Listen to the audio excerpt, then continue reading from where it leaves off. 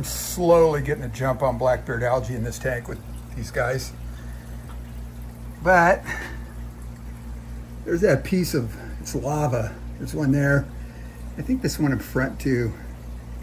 Get some focus on that. There we go. Uh, and, and that one's covered back there. So I'm gonna pull these out and I'm gonna show you what I do with it.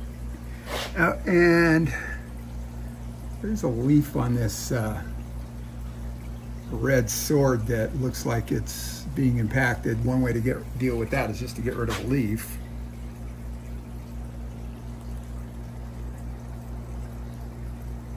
So, and it turns out it wasn't. It was just the way uh, the light was hitting it. So my bad. Uh, but, so anyway, the way I prune those anyway, when I need to, is uh, thumb and forefinger, fingernails. But yeah, this rock is pretty well covered with it. So here's what I do. Let's get that one in there. And see if we, and that other one, I'm gonna go for that too. Just, just cause, yep. Oops, rats, bombs away. There it is. Okay, and here's how I handle it. Into the sink. Laundry room. Under the laundry room sink. And I'm sure this is gonna fly in the face of a few people, but you know what? There we go. This stuff. And the cap on this is broken, so in there. I'll see if I can get some squirts out of it.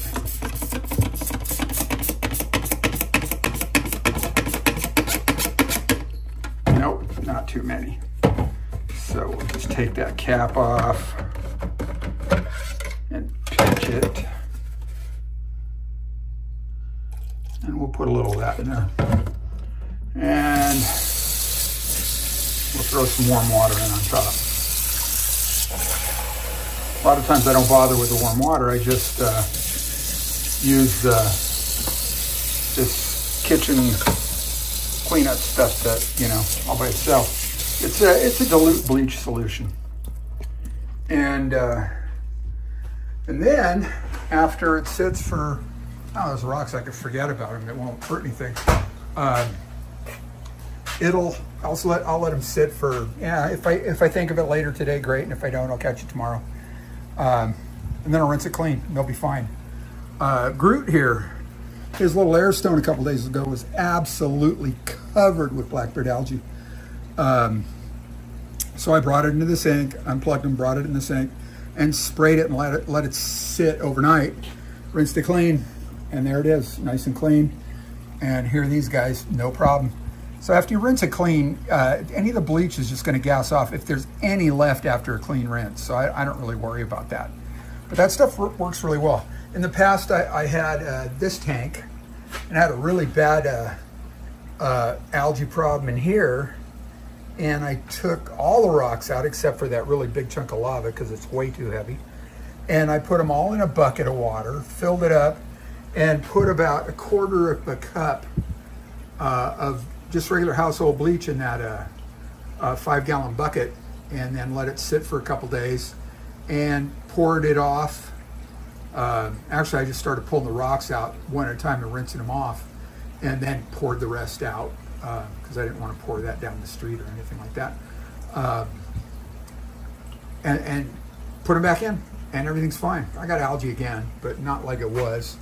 So that works. Household bleach. It's uh, it works as a great algicide, it's a fungicide, uh, it's a bactericide, uh, and you don't want to pour it in the tank, obviously, but you know, you can clean stuff outside the tank, rinse it off, and uh, um, and then reuse it. It's no, no problem.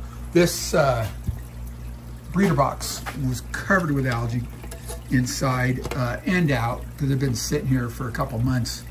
Uh, and I didn't have this cover on it. Took a piece of that plastic and I kind of fogged it a little bit with some flat black to reduce the light going in here and into this uh, breeder box.